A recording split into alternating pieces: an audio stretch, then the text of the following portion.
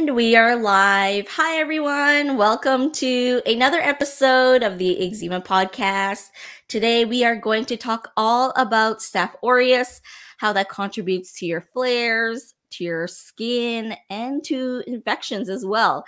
I have my guest, Dr. Julie, here again, who I had last week. And a lot of you guys loved what she shared, and you guys asked so many questions. So feel free to leave questions as we do this live interview. And I know that, um, oh, you guys are starting to leave questions already. We have someone who says, Yay. so let's talk about Staph aureus, Dr. Julie. And by the way, welcome back to the show. Um, I know that Staph aureus is a big part of our flares. I'll let you share and give a rundown of what it is and how it affects our skin. Yeah, thanks, Abby. It's Staph, Staph aureus is a really important organism, particularly for those who um, have eczema. And um, just a little background. So, uh, Staph aureus is short for Staphylococcus aureus.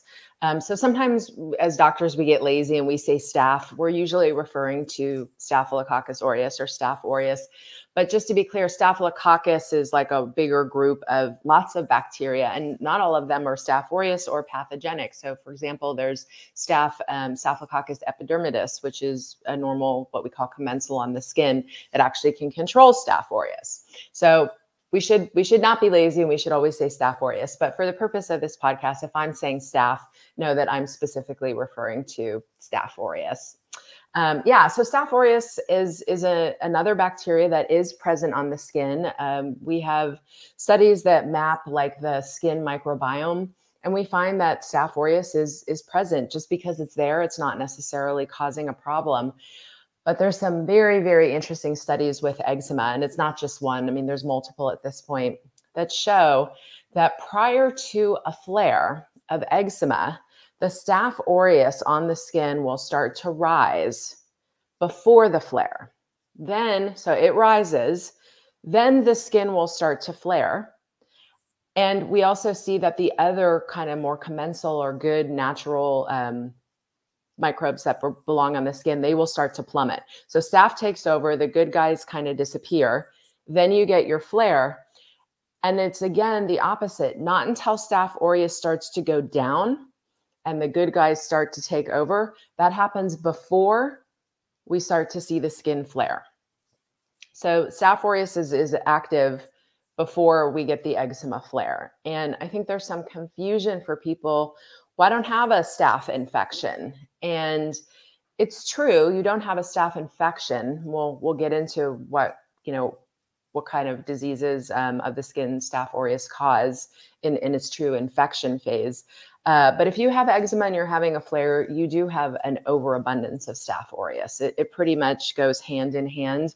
And so I'm always in my mind treating my patients for Staph aureus when their eczema is active. Thanks so much for sharing. I really appreciate it. Is there a test that can be done to see if there's Staph aureus, or we usually just know that there's staph during a, a flare? Yeah, I mean, so technically, you can culture the skin and wait and grow out staph um, or whatever's on the skin. It can it can take seven plus days. Um, there's a couple problems though that uh, mostly in order to culture things we need a wet sample so if you have a, an actual like infection and it's oozing and stuff then your doctor is going to be able to swab something wet and culture it out but we can't culture a dry skin I never, I mean, I rarely would order the skin to be cultured because um, I think we can just, pre- I can presumptively assume that there is an overabundance of staph on the skin and treat it. Now, if, um, let's say somebody actually has a skin infection and we make an assumption that it's staph aureus and we treat with a certain antibiotic and the person is not responding, that would be a really good time then to culture the lesion and find out what the organism is that's causing this full blown infection so that you can get the right antibiotic to it. But norm- for my eczema patients, we don't really uh, tend to do much culturing. I once heard uh, Dr. Aron share that nine out of 10 people who suffer from eczema have an overgrowth of Staph aureus. Would that be correct? I would agree with that. Yes and it's just uh it's crazy how so many of us do have an overgrowth of staph but it's not often talked about or shared about Yeah, and we we actually have some understanding now as to like why that happens. So um, again, Staph aureus is present on on a lot of people. If you just go swab people out there, I mean, most people are going to have some level of Staph aureus on the skin. And it's interesting because when um, they they map the microbiome on the skin, there's two places where we find that staphylococci in general, that those all of the staph organisms like to hang out. This is going to sound pretty familiar to people with eczema. It's here, what we call the antecubital fossa in the crook of the elbow, and behind the knees, where we call the popliteal fossa.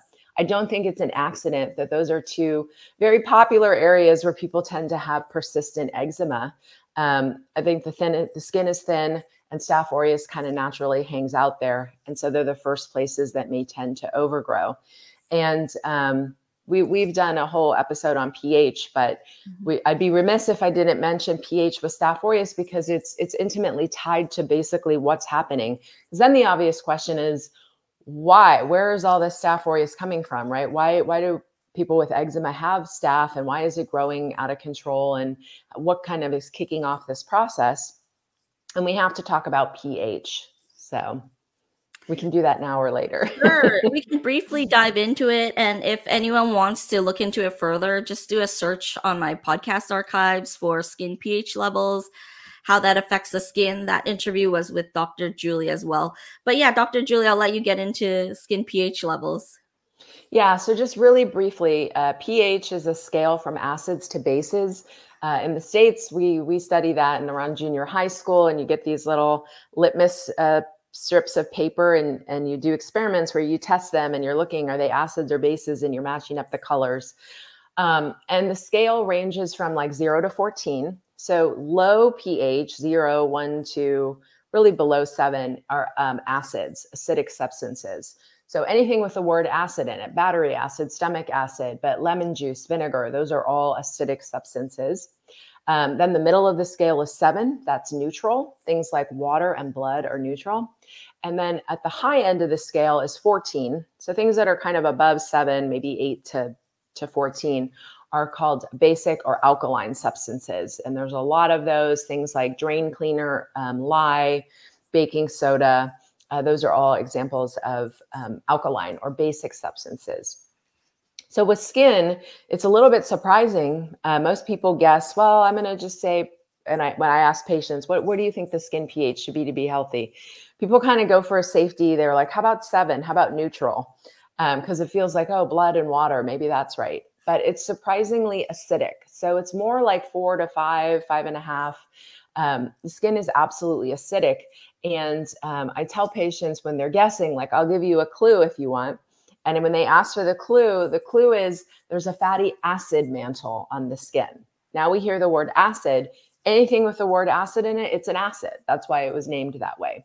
So skin is surprisingly acidic because we create this protective acid mantle. Um, and some of that is, um, if your viewers are well versed in eczema, they may have heard of filaggrin, which is a protein in skin.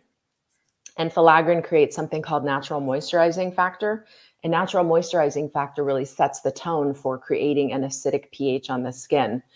Um, well, people with eczema, some of them have a genetic uh, mutation where they don't produce as much filaggrin. It's an FLG uh, mutation. But even if you don't have a, a gene mutation, anyone who's having a flare of eczema is having decreased levels of filaggrin and natural moisturizing production and it, it changes the pH even more. So the pH of eczematous skin shifts up. It's no longer acidic, it's now neutral or alkaline. And that creates two problems. The first problem is Staph aureus loves a high pH. Its jam is 7.5.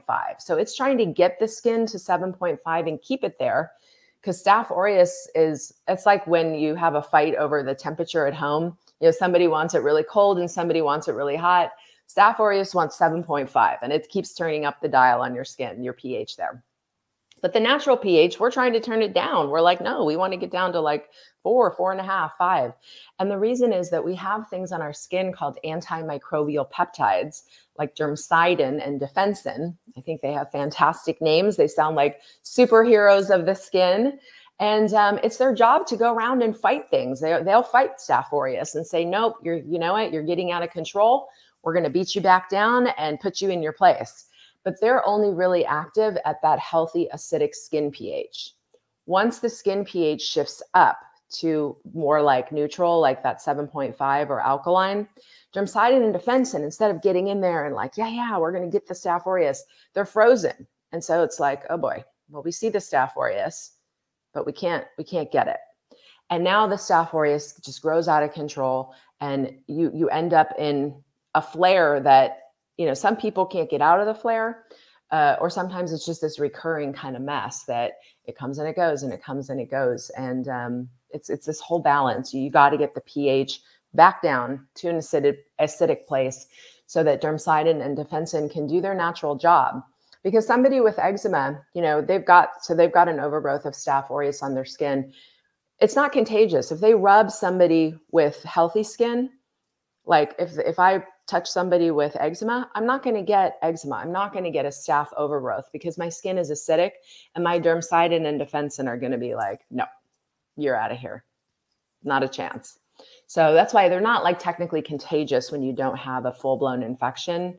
Uh, but their skin pH, it's study after study shows the skin pH of people with eczema is high. It's neutral or alkaline. And, and now you're in a bad place where you can't get out of it.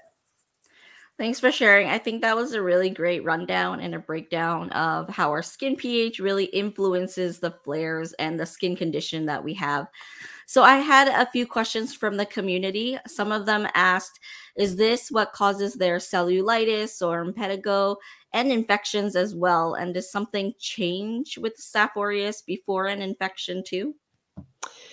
Yeah, so um, there's a couple of skin diseases that can involve uh, Staph aureus, um, and you named them uh, cellulitis and impetigo, and there's another one, erysipelas. Um, but those three, and I'll I'll tell I'll talk about what those three skin, skin conditions are. Um, they can either be Staph aureus, but there's another um, organism um, group uh, B strep, so like strep pyogenes. Those are the two most likely organisms to call to cause all three of those conditions. So we don't necessarily know if somebody has impetigo, cellulitis, or erysipelas. Is it Staph aureus induced or is it um, a strep uh, problem? Uh, there's antibiotics that we can give that are going to cover both organisms. Um, again, if you really needed to, you could try to culture and test. So impetigo is um, where it usually kind of happens around the mouth a lot, and it happens a lot more to kids. Although I have had adult patients who it's happened to. Um, what we look for is these kind of honey golden crusting lesions. Um, and that's a sure sign when you see that honey golden crusting color oozing lesions that it's impetigo. And yeah, it could be Staph aureus or it could be strep. Um, we don't know. Cellulitis is a deep infection in the skin. So it's not a surface one. Impetigo is on the surface. Well, actually, let's go in order. So impetigo, we can see impetigo is very, very contagious. You don't want to be touching that or having kids with it touch other kids because it, it is transmissible. Um, erysipelas is another skin infection. It's it's not like on the skin in, in terms of like impetigo where it's like crusting. It's in that top layer of the skin, but it's in it. It's also either Staph aureus or um, like a strep pyogenes, a, a group. Um, sorry, I said group B, the group A strep. It's a group A streps are the respiratory and the skin. Group B is like the vaginal stuff when you give birth. So group A strep. Um, and it gets into the top layers of the skin and it causes like a very, very bright red, very angry looking um, skin infection. And there's very distinct borders. So it's like a very clear demarcation like this skin is infected, this skin is not. Cellulitis is just a deeper layer infection of the skin. And so sometimes people get confused between erysipelas and cellulitis. So cellulitis is, is that those deeper layers of the dermis and um, it's also red, but it's not quite usually as bright red. And the lines aren't like sharply demarcated like they are in erysipelas. And some people get confused. Usually cellulitis can affect like the lower legs a lot. Um, usually it's it's just one, it's not both. If if people have what looks like they they a lot of times they'll refer to the ER, call in dermatology thinking it's cellulitis and it's um, something called venous stasis where it's actually that the blood flow is backing up and you get this kind of dusky thing. And that happens on both legs. But cellulitis is usually uh, unilateral. It's only going to happen on one. But yeah, all three of those conditions, it can be Staph aureus. It can be a group A strep like strep pyogenes. We don't really know. They're treated with antibiotics. Um, and the impetigo is, is very, very contagious. Thank you for sharing. I really appreciate it. I, I had one person who also asked, can you tell if it's an infection or if it's TSW? That is a very good question, and it's very difficult. So, uh, folks in TSW, you know, the problem is they've had this vasoconstriction from years or however long of, of steroid use. And so their blood vessels were artificially constricted. Once we stop the steroids, the vessels are like, yeah, and they kind of over, uh, they call it's called vasodilating, right? They overexpand. We get a lot of blood flow to the area. That can cause that red skin right? There's just so much blood flow happening, but it also causes that leaking where the fluid's actually leaking out of the vessels into the skin. So a lot of people with um, TSW, it does look like maybe a staph infection because there's oozing. And that might actually be a case where you'd want to um, do a culture of the fluid and see is it just fluid or is there an actual staph aureus infection? I'll usually try like botanical topicals if they can stand it, because you know another problem with TSW is it's just hard to get anything on the skin. Um, but we can do some trials with some like herbal antimicrobials that I, I can use on staph that usually work pretty well. And if nothing's happening, then I, I just more likely assume that it's just the TSW oozing, but not an actual infection. And a, a lot of infection is itches a lot. TSW burns a lot. Um, but the itching can be more of a put me in the direction that it's a staph aureus problem. Got it. Thanks, Dr. Julie. I know that everyone's eager to get into treatment, so we'll definitely talk about that soon. I also had other people who had who asked what the oozing is that comes out during the flare. Is that part of the staph aureus? Um, and also what the colors mean as well. So if you have a staph infection like impetigo, um, it's, it's just the body's immune response that's causing all that like oozing. Your all of your immune system, your macrophages, everything is is like firing up and trying to fight it. And so it's like pus, right? Pus is dead white skin cells that have come to the area to fight. So that that's the oozing during a flare of like a staph aureus overgrowth. Again, with TSW, the oozing we kind of just talked about, it's just that there's just too much uh, blood and fluid and it's it's an osmotic pressure issue where it's not it's not due to an infection. It's just like it's called interstitial fluid from the body is kind of leaking out. So Got it. Different. Thank you. Thank you for sharing that. So, yeah, let's move on to the treatments. I know this is a really popular topic, and I would love to hear more about how we treat Staph aureus. For example, do we always have to turn to antibiotics, or are there other methods as well? So, uh, for me, the answer depends on like what is the staph aureus doing? Like if you have cellulitis, I think it's completely appropriate to get on oral antibiotics. It's deep in the dermis and you can't put something topical on cellulitis and have it like penetrate and get to the staph in the skin. Um, so in that case, an oral antibiotic is probably the way to go and you'll need a prescription and there can be anything from like Keflex to doxycycline. You know, if it's impetigo, um, you can sometimes get away with a topical antibiotic. Um, so that would be um, like a mupirocin ointment. Again, that's prescription only. Don't go to your pharmacy and try to get like a neosporin. A full-blown staph infection is not going to respond to a neosporin ointment. You need to see a doctor and get a prescription for like a mupirocin topical ointment. So those are for like infections. I think, you know, I'm a naturopathic doctor. I take stewardship of antibiotics quite seriously. And I'm not anti antibiotics. I think they are uh, they need to be used appropriately, and so those I think are appropriate cases for using either oral or topical antibiotics.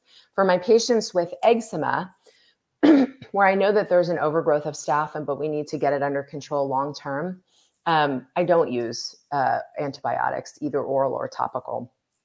So for that, um, we do kind of two pronged approach. One is using things that are going to pull that skin pH back down, reacidify the skin, because ultimately dermcidin and defensin, our body's natural defenses, they're going to do a much better job than you know me or, or any other doctor can do right? Our bodies are amazing. We want to support it to allow it to work in the way it's meant to um, so that's one thing is is getting that pH naturally back down into an acidic place. Let let the skin do its job. Um, but there are also antimicrobial things that we can use on top of the skin to help beat that staph back down and kind of turn the tide. And then the the other tricky bit with Staph aureus is that it doesn't just live on the skin; it actually colonizes the nose. And so that's another reason why people go through these cyclical flares. Some people even do antibiotics, and it's like, I went on antibiotics or I used like a topical mupirocin. The eczema went away, the staph went away, but then it came back. what happened? Where did it come from? Well, it's because uh, we're colonized in our nose. If you have Staph aureus problems on your skin, you have Staph aureus problems in your nose. It's where it hides out and lives.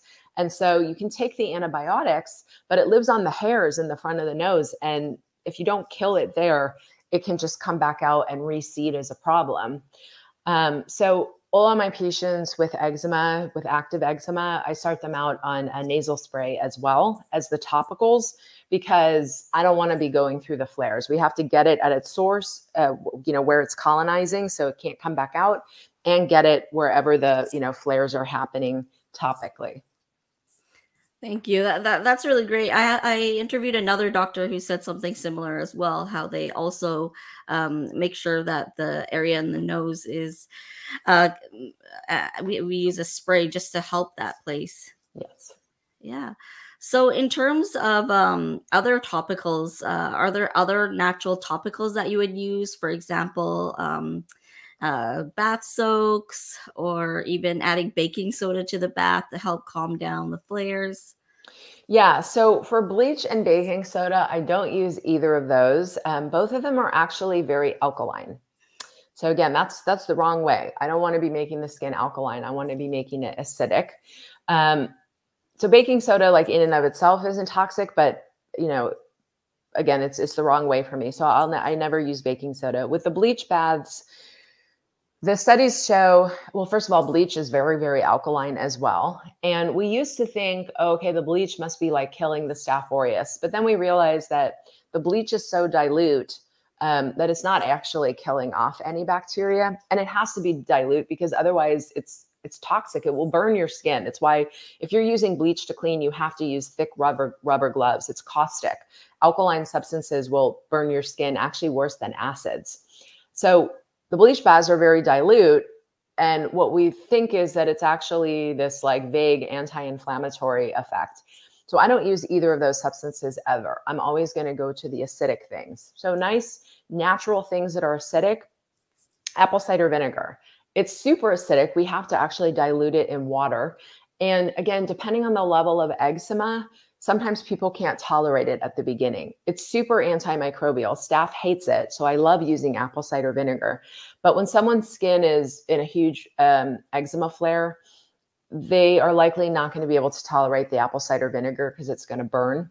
And we can dilute it. You know, I usually start out with a 50 50 dilution of apple cider vinegar and water. I mean, you can make any adjustment. You could just do 10% apple cider vinegar and 90% water. But sometimes water even is too much for people's skin when they're having a big eczema problems. So, most of the time with bad eczema, I'm not going to start with the apple cider vinegar, but I am going to bring it in later because the more that the skin heals, the more it can tolerate. And it's like, it's almost like getting a big boulder moving, right? It's like it's hard at the beginning, but then once once you get the staph on the run, then you can start bringing in the big guns like the apple cider vinegar, and the skin can tolerate it.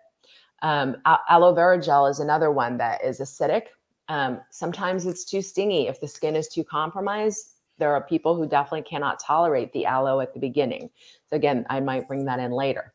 Something that works very well at the beginning are hydrosols. So I love, love, love hydrosols.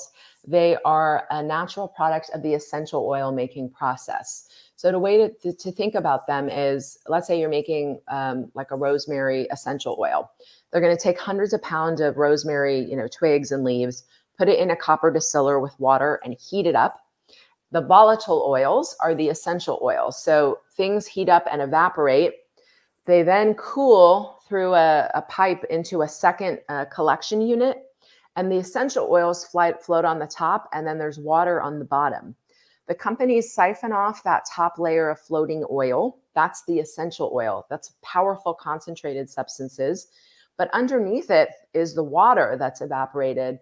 And it's almost, you can think of like a tea that's like infused with um, the plant. It's acidic, but it's very gentle. So I can use it on babies um, and it's very safe, but it's effective. So at the beginning, hydrosols are a really great option, or even tea just brewing a cup of tea and it can be black tea, green tea, or herbal tea. You're going to get different benefits from each one.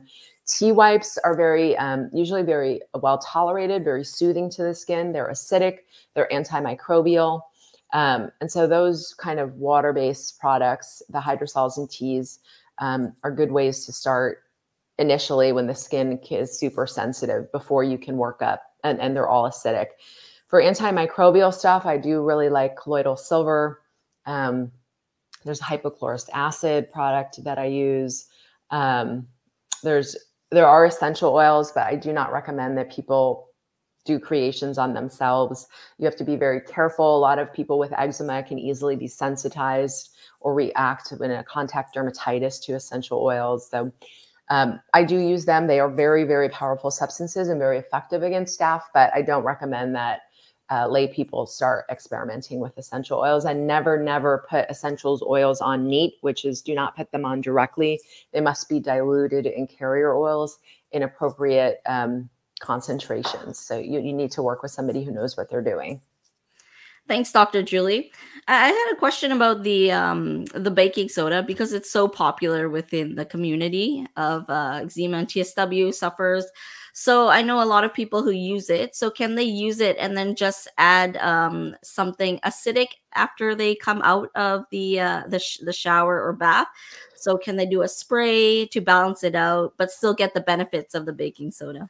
Yeah, I mean it's it's kind of what I do. So all soap is also alkaline because fundamentally soap is a chemical reaction between lye, which is highly alkaline, and fat. So there's no soap that's that's going to be acidic. Now, I still say, yeah, we still need to use soap. We need gentle soap and in appropriate amounts. But every time we use soap, we are raising the pH. So we do um, all my patients, like after they soap, we do use, you know, a variety of products to reacidify the skin. So I think that would be a good option for people if they want to use the baking soda in the shower or the bath.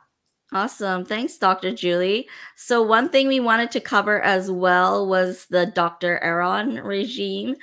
And a lot of people did ask what your thoughts are on this for helping to combat staph. I know he mentions that his regime doesn't lead to topical steroid withdrawal, but yeah, would love your thoughts on um, how it combat or whether you think it's a good way to combat staph aureus. Yeah, so the Dr. Aron regime is it's a compounded topical with three basic ingredients. So there's a moisturizer, um, a topical steroid, and a topical antibiotic. I don't know the specifics of like which antibiotic. I would guess it's mupirocin, but I think he's from the UK, so maybe they use something different over there. Um, I also don't know which steroid he's using, and there's a wide range in steroids. Um, uh, we call them classes. So class one is super potent. Um, and it can be like 600 times the lowest level, which is like hydrocortisone is, is kind of the lowest level. Um, and then which moisturizer, but I'll, I'll kind of break it down. I mean, first of all, as a naturopathic doctor, I don't use steroids because for me, that's not a root cause. We know that the person is not deficient in steroids. That's not what is the problem. And so it's a symptom control. And it's a symptom control that for me isn't beneficial. And often leads to more harm than good. So there's, you know, the at a lower level, a lot of people have the experience where they use the steroids and it does make things better, right? It's suppressing the inflammation, it's pushing things back down into the skin. But as soon as they stop using it, they actually have a bigger flare. And I liken it to like, so if you have a, a tightly, uh, like, you know, a coil and it's really like heavy, but you have to like put all your pressure on it to like hold that coil down yeah, you can suppress it, you can hold the coil down, but as soon as you let go, not only does the coil come back spring, it springs higher, it's stored energy. And so then it, and it takes time to kind of get even back to where it was. And people experience that a lot of times with topical steroid use. That's kind of on the lower level. On, on the worst case scenario, of course, is topical steroid withdrawal, which is horrible, horrible disease that is is you know much more difficult to treat than than the underlying eczema. So I'm not a fan of topical steroids. I don't prescribe them. His regimen is, you know, and at first he uses it a lot, um, and then I think you're supposed to kind of taper. The the one ingredient in there that I can support is the topical antibiotic. And I think he kind of more early on must have realized that there was a staph aureus problem. And that to me is, you know, more of a root cause. So if it's, let's say it's mupirocin and it's in there controlling the staph, you know, I don't really have a problem with that. Um, the way I treat patients is through testing and treating the gut as well as the skin. So it's a it's a dual pronged approach. You know, we always have to be asking, well, why is the skin, you know, acting this way? What is the dysfunction? And so for me, the root cause is there's always leaky gut and problems in the gut microbiome. And when I fix that, then everything else gets fixed as well. So this isn't root cause enough for me. Um, but I don't I don't like topical steroids and I don't know the strength of the steroids he's using. I'm okay with the topical antibiotic. And but the moisturizer is another problem for me because most kind of conventional moisturizers are and uh, they're made with oil and water. Why is that a problem? Well, when you think back to like chemistry class, you know, when you were a kid, what happens when you pour oil and water together? They don't mix, right? They float like this. So how in a lotion, how are we getting oil and water together and stay, keeping them together? Well, you have to use something called an emulsifier, which is a chemical. So the emulsifier smashes the water and the oil molecules together and keeps them together.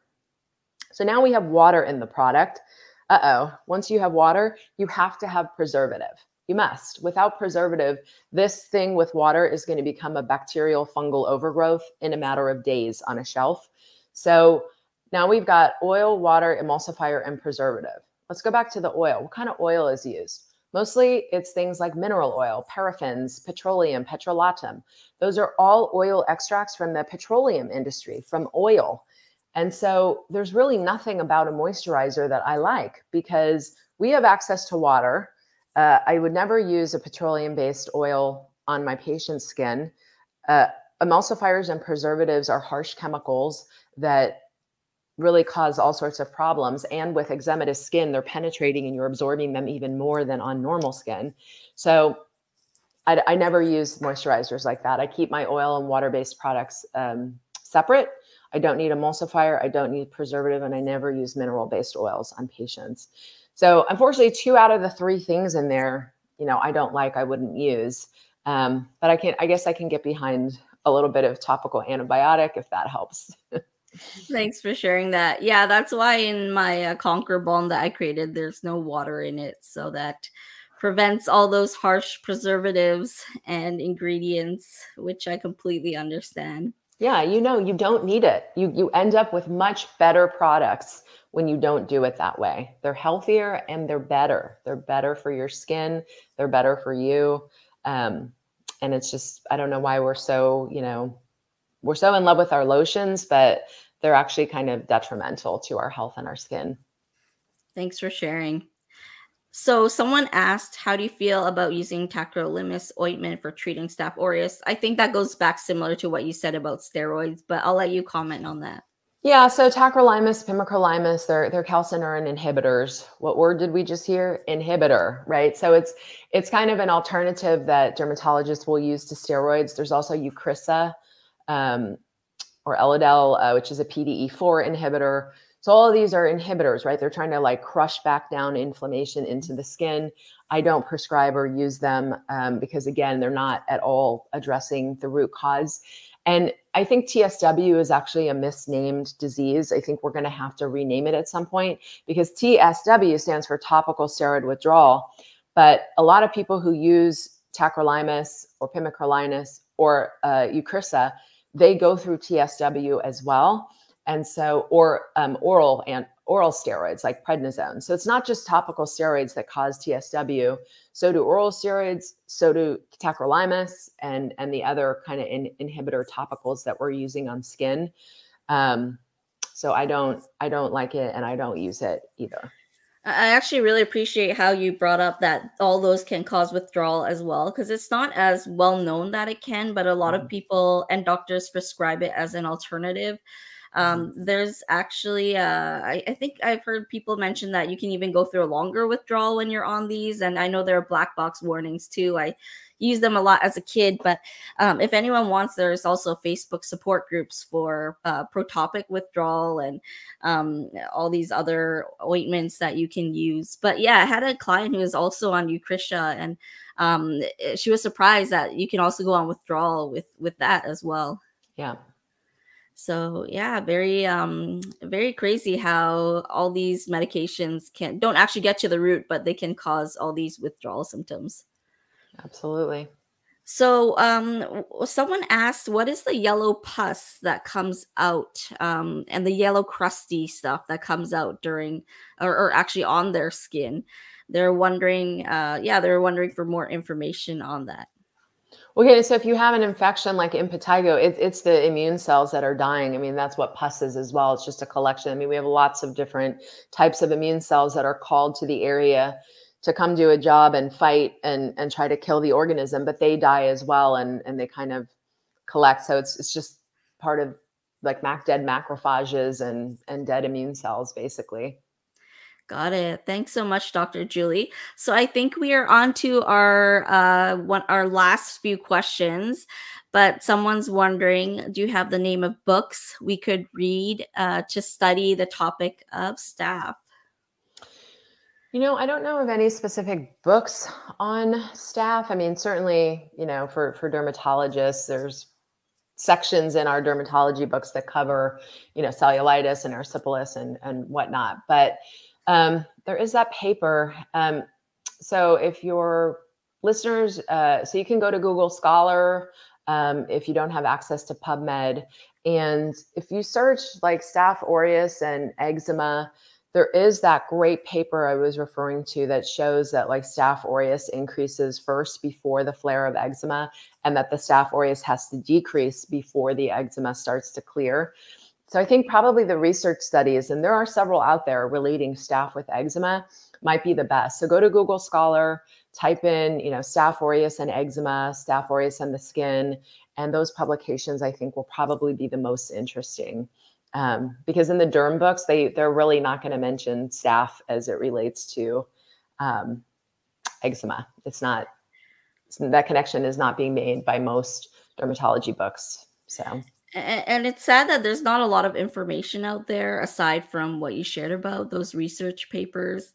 I, I wish it was more talked about um, in the community and that people were bringing more awareness to it. Yeah, I agree. It's it's shocking. I mean, there certainly are plenty of dermatologists who do know about it and treat it, but there's a lot of dermatologists um, where you know my patients have been seeing dermatologists and they're just they've been just prescribed like steroids and then stronger steroids and stronger steroids and the tacrolimus and all the other stuff. And it's clear that if they just went even for a topical mupirocin, life would have gotten dramatically better. And I don't know why the dermatologists, I think they weren't trained in medical school. And then if you're not getting the education, you know, as new information comes out, you just do what you've been doing and you keep doing it. And um, yeah, I agree. It's it needs to get out a, a lot more within the community. Yep, definitely. So, lastly, uh, Amy said that she was prescribed uh, doxycycline, doxycycline and uh, mupirocin for my staph infection, but it hasn't helped yet. I have an appointment at John Hopkins tomorrow, and she also says, "Do you have any recos for staph aureus and a fungus that has caused an infection of the lips called exfol exfoliative cheilitis?" So let me say I'm not giving anyone any medical advice. Um, I can only treat people who are my patients, and I'm only licensed in California, Oregon, and Washington. So I can't give, unfortunately, Amy Sue, I can't give you any, in particular any medical advice. In general, you know, I think if someone, if we think someone has a staph aureus infection and they're not responding to oral doxycycline and topical mupirocin, it's one of two things. It could be MRSA, which is a uh, methicillin resistant staph, which then requires other um, antibiotics, um, or it might not be Staph aureus. And so if, if you have something, you know, wet and oozing on the skin that can be cultured, um, I do, again, I think that's an appropriate time to ask for a culture and say, like, is this what we think it is? Or maybe it's MRSA and it needs to be, it is a form of Staph aureus, but it's resistant and it needs a different thing. For fungus, um, no antibiotic in the world is going to treat fungus because an antibiotic is only something that kills bacteria. And actually, what we find is that when people take antibiotics, fungal uh, problems can over can explode. So candida is a fungal organism, for example. It's a it's yeast, which is a single-celled fungal organism. And I think a lot of women know that when they take antibiotics, they are at risk for a vaginal yeast infection. And it is due to this because we have bacteria in the vagina called lactobacillus that normally live in our vaginal canal and they create um, lactic acid. Well, what word did we just hear? Acid. We need an acidic environment in our vagina too to be healthy. And when you take an antibiotic and it kills off the good bacteria like lactobacillus, there may be a little bit of candida in there. It's not a big deal. But when the, the good guy lactobacillus dies, who's been keeping that acidic pH, suddenly candida can grow unfettered and it also wants a higher pH. So it's a little bit tricky when you have staph aureus and a fungal infection, right? You're gonna if you use pharmaceutical antibiotics, you can make you can drive the fungal infection further. That's another reason why I like herbs because herbs are broad spectrum. So when you think about plants living out in nature, you know, how do they fight? Well, they don't punch, they can't get up and run away. They are the original chemical plants, right? They produce chemicals. They have to be able to fight bacteria and fungus and viruses. So every plant is broad spectrum. Now, we definitely use certain plants to target bacterial problems, certain plants for viral, certain plants for fungal. But we don't have the same problem with herbs that we do with pharmaceuticals, where, oh, if I give you this herb, I could cause you a candida a yeast infection. No. So I, I personally treat, you know, staph and fungal stuff with herbs internally and topically. I don't use pharmaceuticals, um, but I can't give Amy any, you know, specific medical advice. Thanks so much, Dr. Julie. We all really appreciate everything you shared today in terms of how we treat Staph aureus. I really appreciate your knowledge on this topic, especially since you mentioned that not a lot of practitioners out there are aware or focused on this issue. So, your knowledge is so much appreciated. And I really uh, thank you for everything you shared on this show. Do you have any last words of, of advice that you want to share with anyone today before we end today's episode? Um, you know, just that patients should advocate for themselves. Um, you know, if you if the only options you're getting from your doctor are topical steroids, you know, try to find a, a you know nutritionist like yourself who practices um, you know in a functional way and and uses stool and and gut testing to get more to the heart of the matter. You can find naturopathic doctors like myself. Um, I'm licensed in California, Oregon, and Washington, so I can only see patients in those states. Um, but um, if if you contact me, I'm at integrativedermatologycenter.com. Yeah, I can try to get you to um, maybe somebody who can help. But you know, advocate for yourselves. There are a lot, a lot of options out there other than just steroids and and things like that. And you know, even with the with the um, topical with the like staph problems if you think you have a staph infection and you ask for a culture and you have a oozing you know sore and they won't culture it go get a second opinion. Like they should be culturing something if it's oozing and infected. Um, particularly in, in the case of Amy Sue, where a conventional, you know, oral and topical plan is not responding to that, then, then you need to keep asking questions. But there are a lot of alternatives out there to steroids, and you really can get to the root cause of eczema and clean it up. Just, just don't forget about the Staph aureus as one of the culprits. Thank you so much. It looks like we have a lot of people who are saying thank you for the great information that you provided, Dr. Julie. So I, I know you just named your clinic. Did you want to leave any um, contact info for people to reach you at? Yeah, uh, just the best is to go to my website, integrativedermatologycenter.com. Um, and there's, you know, info on there and, and my contact information is all on there. That's great. Thank you so much, Dr. Julie. And thank you, everyone, for just being here and for listening. I hope this episode helped you. Let us know what future topics you want us to talk about. And we look forward to releasing new episodes where you get to learn more about how to help uh, you overcome your skin rashes. Take care and have a great day.